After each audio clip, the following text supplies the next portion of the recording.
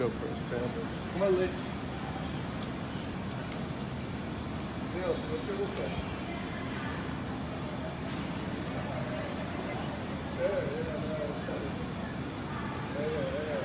Sure, yeah, no,